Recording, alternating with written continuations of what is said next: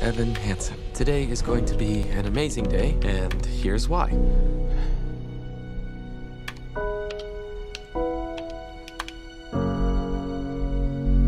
Have you been doing those letters to yourself with Dr. Sherman? I've been trying to. Have you ever felt like nobody was there? Um, no one signed your cast. Now we can both pretend we are friends. I'm sorry about my brother. Have you ever felt forgotten in the middle of nowhere? I wish everything was different. Wish I was part of something. Wish that anything I said mattered. Have you ever felt like you could disappear? Dear Evan Hansen, Yeah, yeah, that's mine. I'll, I'll, I'll just take it. Wait, I really, I need that back. Like you could fall, and no one would hear.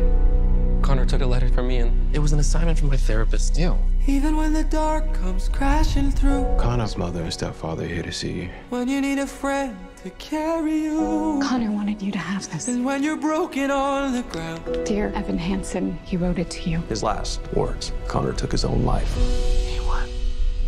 I'm sorry, Connor didn't write this. No, no, no, please. It's this. You will be found. We didn't think Connor had any friends.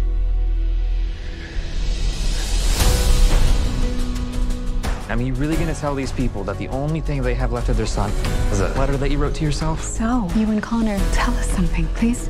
Right. Um, I started talking and You couldn't stop. they didn't want me to stop. I'm putting together a memorial service. If you wanted to do something,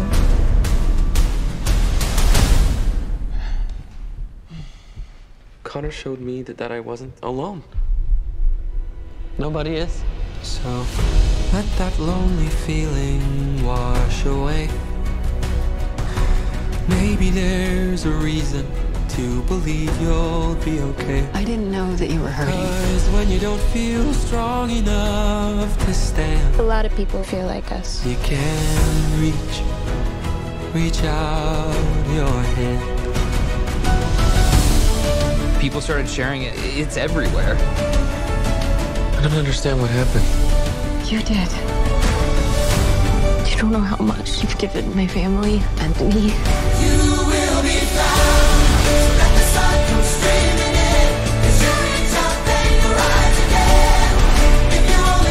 Were you ever actually friends with him? I never meant to make it such a mess. I was trying to help. If you knew who I am, just how broken I am. I already know you.